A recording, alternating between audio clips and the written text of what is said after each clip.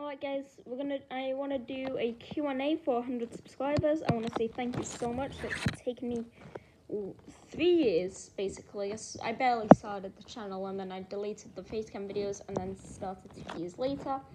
And then I recorded and then I started making videos. I just wanna do a small I just wanna do a Q&A for 100 subs.